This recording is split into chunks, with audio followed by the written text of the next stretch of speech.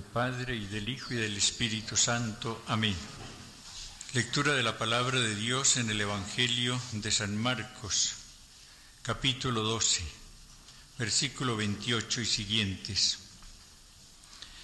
Acercan, acercóse uno de los escribas que les había oído discutir y viendo que les había respondido muy bien, le preguntó, ¿cuál es el primero de todos los mandamientos? Jesús le contestó, el primero es, escucha Israel, el Señor nuestro Dios es el único Señor, y amarás al Señor tu Dios con todo tu corazón, con toda tu alma, con toda tu mente y con todas tus fuerzas.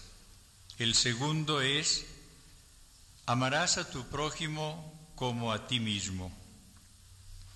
No existe otro mandamiento mayor que estos. Contestóle el escriba, muy bien maestro, tiene razón al decir que Él es el único y que no hay otro fuera de Él. Y amarle con todo el corazón, con toda la inteligencia y con todas las fuerzas, y amar al prójimo como a sí mismo vale más que todos los holocaustos y sacrificios. Y Jesús, viendo que le había contestado con sensatez, le dijo, no estás lejos del reino de Dios. Y nadie más se atrevía ya a hacerle preguntas. Palabra de Dios.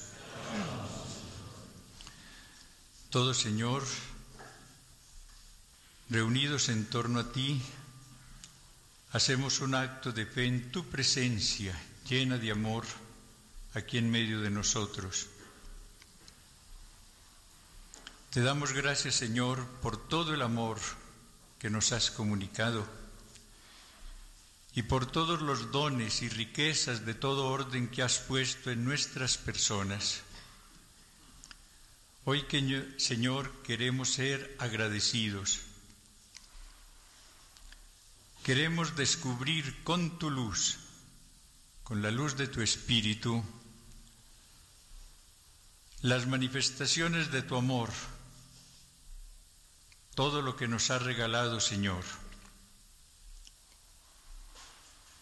Te pido, Señor, que ahora pongas también tus palabras en mis labios, que comunique tu mensaje, Señor Derrama tu espíritu de verdad, de amor, de paz sobre todos nosotros en esta mañana. Por todo lo que nos has dado y vas a darnos, te damos gracias, Señor.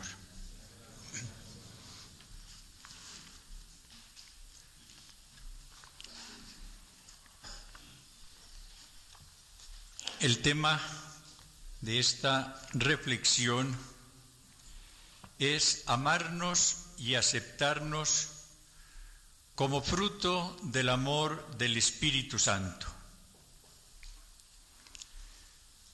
No olvidemos que el tema central de este encuentro, el séptimo latinoamericano de sacerdotes, es el fruto del Espíritu. A lo largo de los años anteriores hemos estado reflexionando sobre varios aspectos del Espíritu Santo. Dedicamos un encuentro a reflexionar sobre el poder del Espíritu. Hace dos años nos detuvimos en esa riqueza de la oración en el Espíritu. El año pasado centramos nuestra reflexión en esa gran frase de San Pablo, vivir en el Espíritu. Siguiendo el orden, este año estamos reflexionando sobre el fruto del Espíritu, el amor y todo lo que ese amor del Espíritu lleva consigo. Sabemos que en el árbol el fruto constituye la perfección el árbol nace, crece, un buen día, de acuerdo con su naturaleza, se cubre de flores, pero esas flores caen desaparecen para dar después lugar al fruto. Y podemos decir que el árbol llega a la perfección cuando presenta un fruto maduro. Y es a través de la semilla que está en el interior de ese fruto como el árbol después podrá multiplicarse. En esta renovación espiritual, la obra del Espíritu en nosotros, tenemos que anhelar llegar a recibir los frutos del Espíritu o el fruto del Espíritu, como en singular lo llama San Pablo en su carta a los Gálatas. Cada día me convenzo más, amadísimos sacerdotes y seminaristas, de aquella gran afirmación de Pablo VI. Para un mundo cada vez más secularizado, nada tan necesario como esta renovación que el Espíritu del Señor está suscitando en los medios y ambientes más diversos. Pero tengo que confesarles que crece mi preocupación al ver cómo en más de un lugar y en más de una vida se está perdiendo esta oportunidad de la renovación espiritual porque nos quedamos en lo superficial, porque nos quedamos en lo accesorio, porque nos quedamos en lo vistoso y no vamos profundizando en esa apertura a la presencia y a la acción del Espíritu. Podemos cometer el error de quedarnos en lo carismático, sin que esos carismas lleguen a producir en nosotros el fruto del Espíritu. En más de un lugar la renovación está en crisis, en otras pudiéramos decir ha fracasado por esto, porque todo se limitó a cosas externas o a determinados carismas vistosos y no se entró en la comunicación profunda con el Señor. La renovación esencialmente es una apertura generosa al poder del Espíritu, para con ese poder convertirnos en testigos de Jesús resucitado. Es algo maravilloso lo que el mundo necesita. Ojalá que en estos días nosotros veamos claro y pidamos al Espíritu del Señor que venga a actuar intensamente en nosotros para que vaya apareciendo en nuestras vidas su fruto, el amor en todas sus manifestaciones.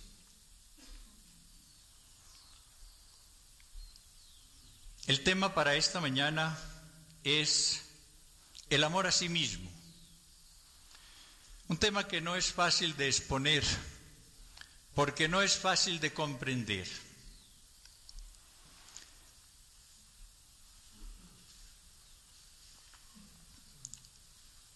Recuerdo que hace unos años apenas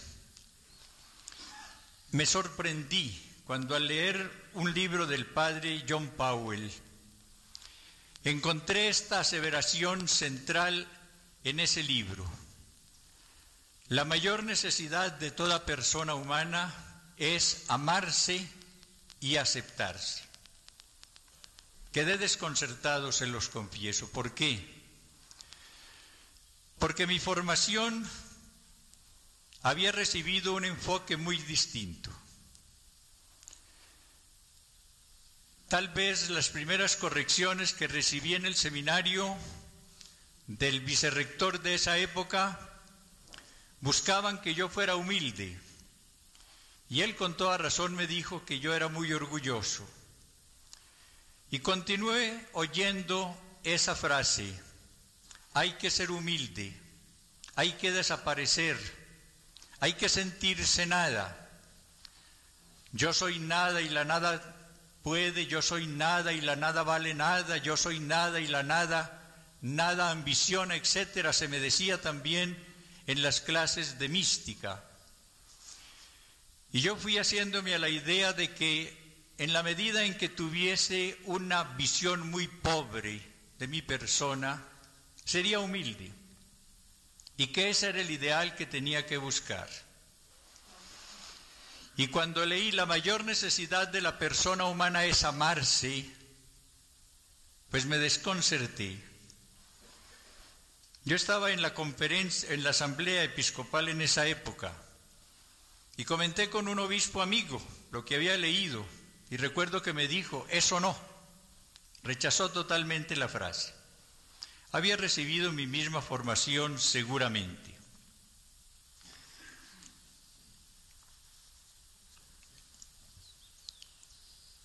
Generalmente nosotros, por lo menos me refiero a varios de los que estamos aquí, crecimos con la idea de que amarse era lo mismo que orgullo.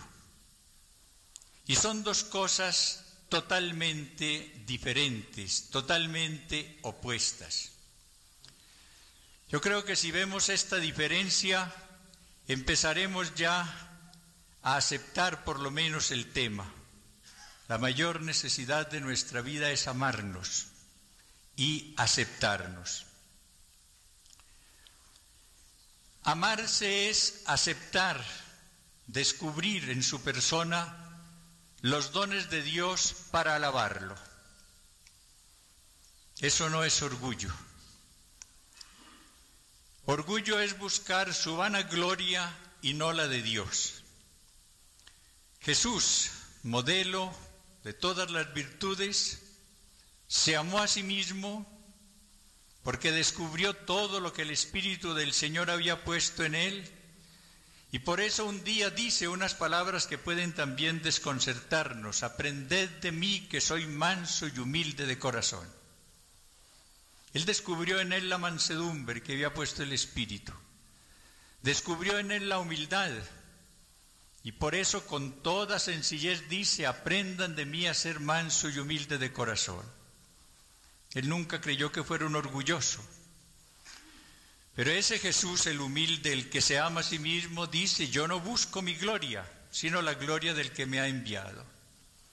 Habría sido orgulloso si hubiese buscado una vana gloria y no hubiese buscado siempre la gloria de su Padre. Recordemos que el lema de su vida fue ego honorifico patrem, honro al Padre. Un programa maravilloso para cualquiera de nosotros. El orgulloso sufre si no ocupa el primer lugar. El que se ama está feliz en cualquier lugar. El orgulloso está envidiando a los demás. El que se ama está feliz como el Señor lo hizo. No se cambia por nadie. El orgulloso nunca es feliz porque no se da. El orgulloso quiere solamente recibir, recibir honores, cada día ser más, pero delante de los demás. El que ama es feliz. ¿Por qué? Porque ese sí se da. Y recordemos las palabras del Señor que conocemos por San Pablo, las únicas que no están en el Evangelio. Hay más alegría en dar que en recibir. El orgulloso es ciego y tiene una falsa visión de la realidad. No admite los defectos. El que se ama va descubriendo todo lo positivo que el Señor ha puesto en él y acepta en paz sus defectos. El orgulloso se odia y odia. El que se ama es por lo mismo capaz de amar. Recordemos que Santa Teresa, entre todas sus maravillosas afirmaciones, nos dijo un día que había oído del Señor ¿Por qué amaba él tanto la humildad? Porque la humildad es la verdad.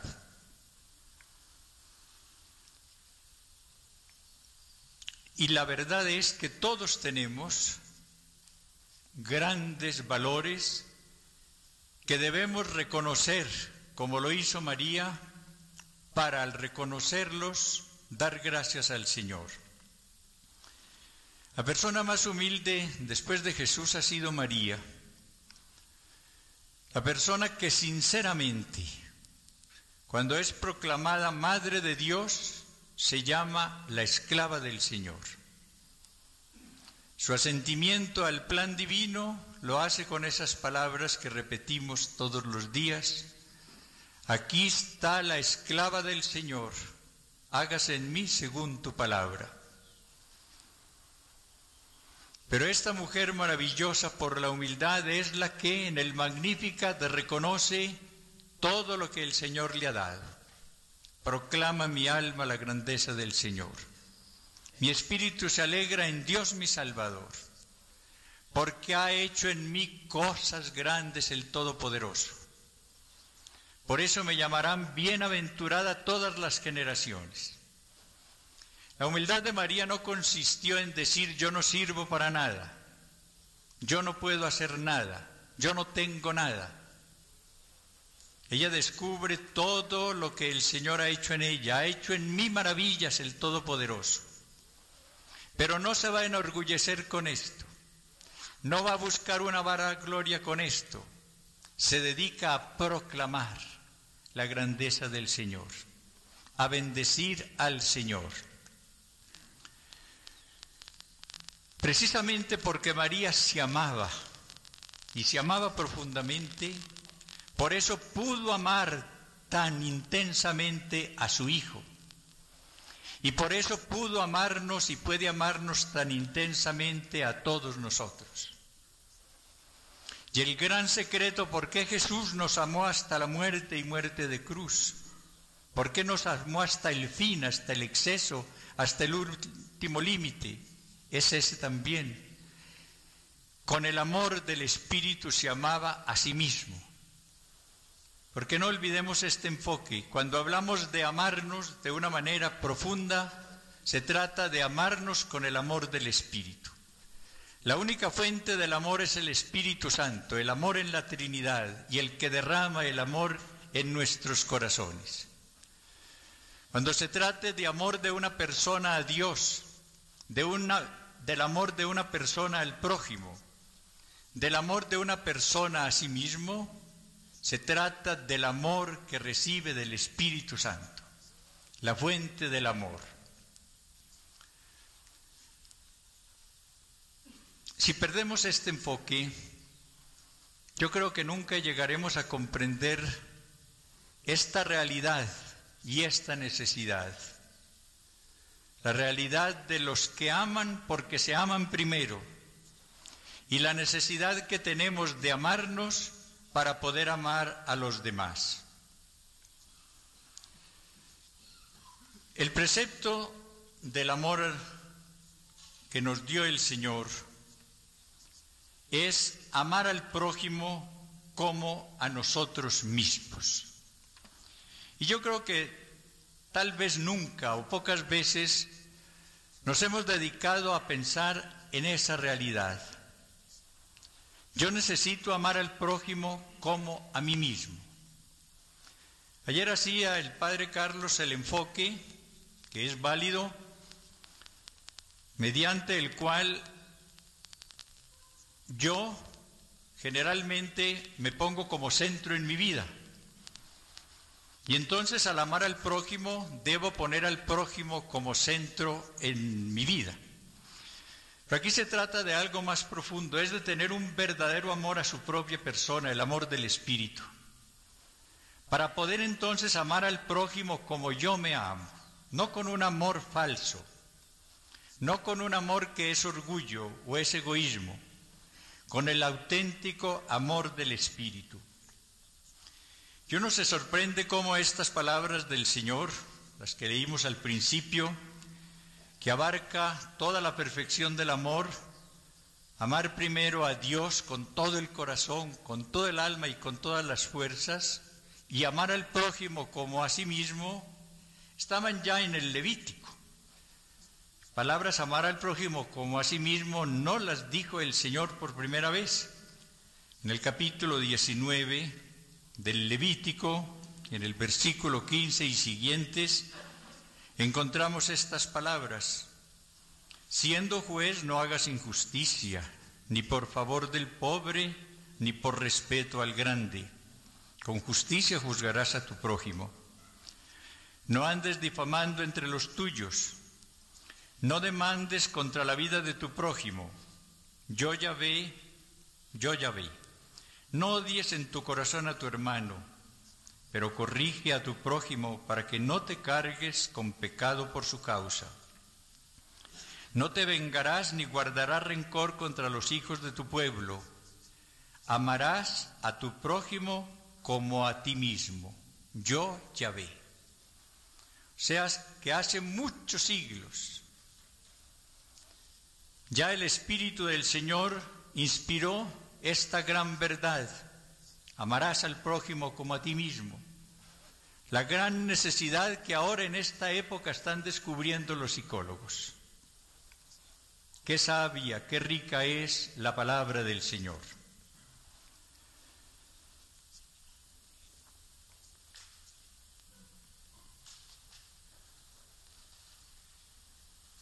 El precepto del Señor, amar al prójimo como a nosotros mismos. La consecuencia muy clara es, si no nos amamos, ¿cómo vamos a amar a nuestro prójimo? Si nos amamos poco, amaremos poco a nuestro prójimo.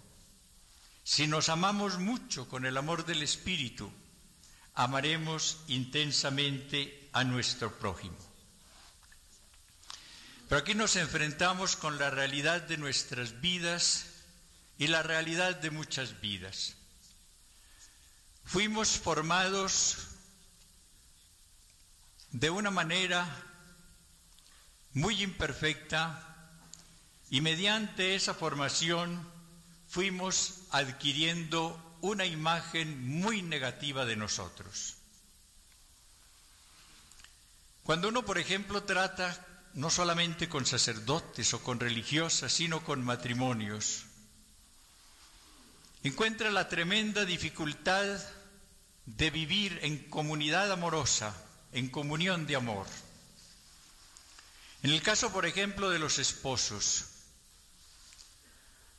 uno descubre cada vez que trata con las parejas cómo en la mayor parte de las esposas y de los esposos hay una gran dificultad para creer en el amor del otro y la limitación en la apertura para recibir el amor del otro. Y la explicación es siempre la misma. ¿Cómo puede amarme mi esposo siendo yo lo que soy? dice la esposa. Y lo mismo puede decir el esposo. En el sacerdote pasa lo mismo. No va a creer en el amor de sus compañeros, ni en el amor de la gente, ni en el amor de nadie, porque puede tener la idea, yo soy un infeliz, yo no sirvo para nada, yo soy la podredumbre, la pobreza suma, a mí nadie puede quererme. Esa imagen negativa que tiene uno ahora, ¿cómo la fue adquiriendo? Desde los primeros años especialmente. Cuando a través quizás de una madre equivocada, o de un padre, o de un maestro, o de un hermano mayor, empezó uno a oír frases como estas. Tú no sirves para nada. Tú no puedes ir a ninguna parte. Las comparaciones del hogar, fíjate fulano en fulana, tu hermano o tu hermana mayor. Este hijo sí me va a dar a mí muchas alegrías, tú no me vas a dar sino dolores de cabeza. Y aquel niño o aquella niña va adquiriendo una imagen tremendamente negativa. Yo no voy a poder dar nada, yo no voy a servir para nada, yo soy un fracaso. La persona que empieza a despreciarse por lo negativo que escucha, que cada día se va sintiendo más incapaz de recibir amor porque cree que no lo merece. Y cuando se lo dan, es a veces un amor condicionado. Es lo que nos pasó a la mayor parte de nosotros. Cuando se nos ofrecieron favores, halagos, un paseo, un premio, etcétera, estaba condicionado a ganar el año, a tener un buen puesto en el colegio o en la escuela, a sobresalir en tal o cual materia. El amor condicionado, que no es amor. Cuando uno va encontrando esta realidad, se asombra al encontrarse con el amor de Dios, que es un amor incondicional. Amemos a Dios porque Dios nos amó primero. ¿Qué tal que Dios amara con condiciones? No sería tampoco amor el suyo. La maravilla del amor de Dios que uno va descubriendo en la renovación y que es lo que va sanando interiormente consiste en eso, en que nos amó primero y nos amó y nos ama y nos amará sin condiciones.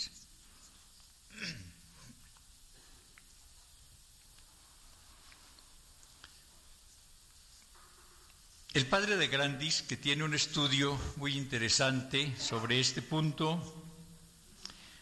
trae tres elementos que son los que van formando la imagen negativa en nosotros. En primer lugar, cita los rechazos que recibimos en el hogar, en la escuela, en el seminario, en el presbiterio, etc. Un elemento todavía peor, la culpa, el complejo de culpa. El creer que porque cometimos tal falla, sobre todo en los primeros años, estamos perdidos. El sentirnos con un complejo que cada día nos va dando la inseguridad en el perdón del Señor y el creer que por esa culpa nosotros merecemos todos los castigos. Porque cuando nos sentimos con una imagen negativa delante del Señor por la culpa, con mayor razón la sentimos delante de las personas. Y luego algo que es tremendo, el perfeccionismo. Muchos fuimos formados en esa escuela del perfeccionismo, teníamos que hacerlo todo de la manera más perfecta. Como el ser humano es tan limitado, vamos sintiendo a lo largo de la vida la sensación de frustración, porque no vamos alcanzando esa perfección que se nos trazó como meta y que equivocadamente creímos que podíamos conseguir con nuestro solo esfuerzo. Para mí uno de los grandes secretos de la renovación de sus grandes riquezas consiste en descubrir uno con la verdad las palabras del Señor, sin mí nada podéis hacer, para abrirnos entonces al poder del Espíritu. Ya no es la persona la que va a realizar tal objetivo de perfección, no, ella nada puede. Es la persona abierta humildemente al poder del Espíritu en el cual cree, la que va recibiendo entonces ese cambio que el Espíritu del Señor va realizando en ella. Hemos insistido muchas veces cómo la autenticidad de la renovación se manifiesta en el cambio que se va operando en la persona. El cambio en sus criterios, el cambio en sus actitudes, el cambio en su vida. Pentecostés fue el gran cambio en la mentalidad de unos apóstoles que hasta ese momento estaban pensando en el reino temporal y que desde esa hora empezaron a pensar en el reino de Dios. Unos tímidos y miedosos que se llenan del poder del Espíritu y abren las puertas que tenían cerradas para proclamar que Jesús ha resucitado y que ha sido exaltado por el Padre y ha sido constituido por Él Señor y Cristo. Esto es lo que el Espíritu del Señor quiere obrar en todos nosotros. Aquí vamos entrando entonces en la necesidad y posibilidad que tenemos de sanar nuestra imagen negativa. La sanación de la propia imagen Ese es el título de una de las obras del padre de Grandis precisamente, sanar su propia imagen. La imagen negativa, la imagen pobre que fuimos adquiriendo, puede ser sanada por el Espíritu del Señor en esta renovación espiritual. Yo quiero recomendarles, sobre todo a los que vienen por primera vez al retiro, que empiecen a enriquecer su ministerio con estos tesoros de la sanidad interior. La posibilidad que tenemos de sanarnos con el amor del Espíritu y de ser canales de sanidad interior, cuando nos abrimos a la acción del Espíritu para que a través de nosotros pase su amor y llegue a sanar a los demás. El problema del corazón humano tan enfermo está en el desamor. Cuando el Señor lee en la sinagoga el capítulo 61 de Isaías, dice que ha venido a sanar los corazones rotos. El corazón del hombre está roto por el odio, por el desamor. Y solamente se reconstruye, se sana cuando recibe el amor del No amaré al prójimo, ni creeré en el amor del prójimo. No le daré amor porque no me amo, y no creeré que Él me ama, porque me sentiré siempre indigno de ese amor. Y aquí venimos entonces ya a la gran solución. La fuente del amor es el Espíritu Santo. Y solo con el amor del Espíritu llegaremos a amarnos. Y cuando aparezca en nosotros este fruto del Espíritu, el amor a nosotros, este fruto se proyectará a los demás. Amaremos porque nos amamos con el amor del Espíritu. En esta obra de sanidad interior, para producir en nosotros el fruto del amor a nuestra persona, el Espíritu Santo empieza por concedernos la gracia de perdonarnos, de perdonar al Señor y de perdonar a nuestros hermanos. Quizás no nos hemos detenido nunca a pensar en el odio que nos tenemos a nosotros, en el odio que hemos acumulado contra nosotros por determinados fracasos, por eh, aquellas equivocaciones, por los problemas que nos creamos con determinadas actitudes, inclusive por los defectos físicos que tenemos. No nos perdonamos. A veces guardamos un gran resentimiento contra nosotros. Y la obra del Espíritu Santo que es de reconciliación busca que primero nosotros nos reconciliemos con nuestra realidad personal, para que al reconciliarnos podamos amarnos. En ratos de oración nosotros iremos descubriendo con la luz del Espíritu cuántos resentimientos tenemos contra nosotros, con nosotros. Y en esa oración nosotros conseguiremos la gracia de perdonarnos en tal momento de nuestra vida en tal fracaso, en tal crisis, en tal equivocación. Y perdonar entonces a Dios. Recuerdo que cuando oí por primera, esa, por primera vez esa frase también me sentí muy incómodo. Me pregunté, ¿cómo puede uno hablar de perdonar a Dios? Y fui descubriendo que hay más resentimiento contra el Señor de lo que nos imaginamos. ¿Cuánta gente vive resentida con él por su sexo?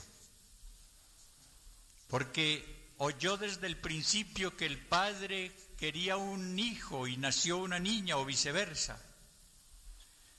¿Cuánta gente vive resentida con el Señor por el color de su piel, por el medio social en el cual nació y creció, por su físico, por su inteligencia, por tantas cosas?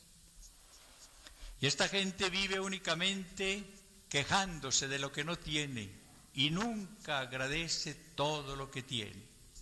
Es la visión negativa que impide que uno se abra al amor del Señor, porque si está pensando solamente en reclamos para el Señor, ¿cómo va a experimentar amor a ese Dios contra el que no tiene sino quejas? ¿Cuánta necesidad tenemos de perdonar a Dios en ese sentido? De descubrir todo lo que Él nos ama para cambiar esa situación de queja por la alabanza. ¿Qué es lo que va predominando en la persona que entra en la renovación? La alabanza. A muchos sacerdotes les cuesta a veces admitir inclusive la oración de alabanza. Pero uno va viendo cómo el campesino, el joven, la religiosa, el sacerdote que profundiza en la renovación, se convierte en la persona de la alabanza. Y va cambiando la queja de antes por la alabanza. Claro que a veces, como dice Juan Carlos Ortiz, nos quedamos en la quejabanza. Una mezcla de quejas y de alabanzas, pero bueno, progresamos un poco si tenemos ya la quejabanza, en lugar de solamente la queja de antes. Pero el ideal es que lleguemos a la alabanza. El cielo será la oración de alabanza y tenemos que irlo preparando ya desde ahora. El Espíritu Santo en esta sanidad de nuestra propia imagen nos va dando la gracia también de perdonar al prójimo. Porque vamos descubriendo cómo muchos de los resentimientos que tenemos son contra determinadas personas, las que nos hirieron desde el hogar o desde la escuela o en el campo de trabajo, en donde sea. Y solamente a través de esa reconciliación iremos preparando el camino del amor Solamente el árbol del amor llegará a dar fruto cuando nosotros estemos en paz, estemos reconciliados con Dios, con el hermano y con nosotros. Enseguida el Espíritu Santo en esta tarea que va a terminar en el fruto, en su fruto del amor a nosotros, en este caso, nos va mostrando con su luz todos los valores que tenemos para que nos convirtamos en alabanza de gloria de su gracia. No nos quedamos solamente en la etapa de perdonarnos y de perdonar, sino que entramos a descubrir todos los valores que hay en nosotros. La equivocación nuestra consiste generalmente en compararnos con los demás en ver qué tienen ellos y no tenemos nosotros para quejarnos más. La realidad es que Dios no se repite, no olvidemos esto, que en cada persona el Señor hace una obra maestra que no repetirá. El gran mensaje de ese libro de Ocmandino, el mayor milagro del mundo, es ese, el descubrir cada uno de nosotros la realidad de la obra maravillosa que el Señor hizo y que no va a repetir. El Señor hace en cada persona humana una obra maestra y rompe el molde. Nunca repetirá dos seres humanos. El Señor hace una obra maravillosa en cada ser humano y se siente feliz con lo que hizo en cada persona. Pero esa persona, las más de las veces, está descontenta yo no tengo la inteligencia de fulano, no tengo la facilidad de expresión de sutano, yo no tengo el éxito en el trato con los demás de perencejo, ¿no? ¿Qué no tengo? Si nos damos a la tarea de descubrir con la luz del Espíritu, y esa luz nos llega también a través de las personas, de muchos medios, los valores que el Señor ha puesto en nosotros, la imagen irá cambiando y en lugar de ese desprecio que antes experimentábamos por nosotros, iremos empezando a recitar como María su magnífica. Mi alma glorifica al Señor, porque ha hecho en mí cosas grandes. Y nos dedicaremos a proclamar, a ensalzar, a glorificar al Señor, a pronunciar nuestro propio Magnificat, auténtico, sincero, salido del corazón. El momento rico en la vida de una persona es cuando ella sinceramente dice, no me cambio por nadie. Y no debemos cambiarnos por nadie. Somos la obra del Señor, la obra maestra del Señor que no repetirá. Y lo que tengo que buscar es, bajo la acción del Espíritu, conseguir que esa obra se perfeccione y que no se desfigure. Y viene un punto que es muy importante, el Espíritu del Señor, que nos da primero la gracia de perdonarnos, de perdonar, y que nos va mostrando la riqueza de su amor en nuestras vidas para que lo alabemos, nos da también la gracia de aceptar con paz nuestras limitaciones. Por eso, en ese enfoque del padre Powell están las dos cosas. La mayor necesidad de la persona humana es amarse y aceptarse. Porque todos tenemos limitaciones, todos tenemos defectos físicos, morales, de una clase o de otra. Y el Espíritu del Señor que en ese fruto del amor incluye siempre la paz y el gozo, porque ese fruto del amor es de una riqueza que pudiéramos decir infinita, nos da la gracia de aceptar con paz y ojalá hasta con amor más tarde nuestras limitaciones. Entonces llevaremos ya con serenidad tal defecto, defecto físico que a veces es el más perceptible, claro está, y que a veces nos golpea más fuertemente, o defectos morales, deficiencias, etcétera aceptar nuestra realidad. Cuando nosotros consigamos esto, cuando bajo la acción del Espíritu Santo, que es el amor y la fuente del amor, lleguemos de veras a amarnos y a aceptarnos, empezaremos a realizar la pastoral del amor.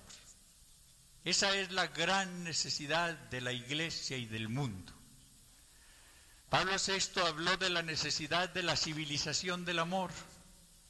Lo que tenemos que buscar para conseguir esas metas maravillosas es cumplir bajo la acción del Espíritu como instrumentos dóciles suyos una pastoral del amor. Llevarle a las personas este mensaje, la apertura al amor del Espíritu, para que todos con ese amor nos amemos. Amemos después al prójimo como a nosotros mismos y seamos entonces totalmente abiertos al amor del Señor.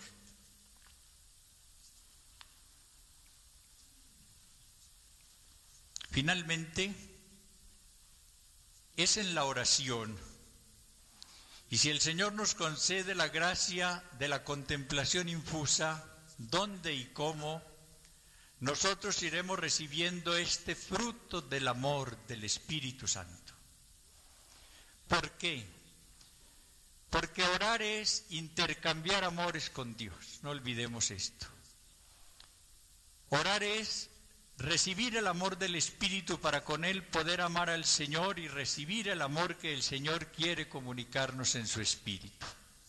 Orar es entrar en un horno de amor en un abismo de amor, en un incendio de amor.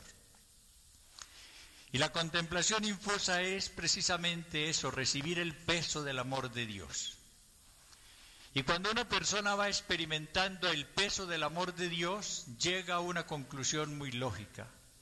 Si Dios me ama, y me ama porque estoy experimentando su amor, no es una especulación que hago de que Dios me ama por esto, por aquello, sino que Él está derramando el amor en mi vida y lo estoy experimentando, tengo que concluir, luego no soy la miseria que yo me llamo, luego no tengo que despreciarme, Tengo que amarme con ese amor del Señor. Ojalá nosotros llevemos este mensaje a las religiosas, a todos los sacerdotes, a los seglares. Llegar a una oración de intimidad con el Señor. Dedicarle a la oración personal todo el tiempo posible y todos los días. Bajo el Espíritu del Señor aprender a orar. Uno aprende a orar cuando deja que el Espíritu ore en uno, es decir, cuando uno va recibiendo la acción del Espíritu Santo en la oración. Allí entonces nosotros recibiremos el amor del Señor en una experiencia siempre nueva, porque las experiencias del Señor no se repiten, y a través de esas experiencias aprenderemos a amarnos e iremos sanando nuestra imagen tan negativa. Hagamos finalmente una oración que puede ser esta. Oh Señor, si yo me mirara con tus ojos divinos, me miraría con amor. Cuánta falta me hace tal mirada. Tú siempre me miras con amor porque siempre contemplas en mí tu imagen, pues me hiciste a tu imagen y semejanza. Tú siempre ves tu imagen en mí mientras yo no la contemplo generalmente. Señor, he deformado tu imagen en mí, pero tú puedes si quieres restaurarla. Señor, que me vea con tus ojos para que me ame y me acepte, así sea.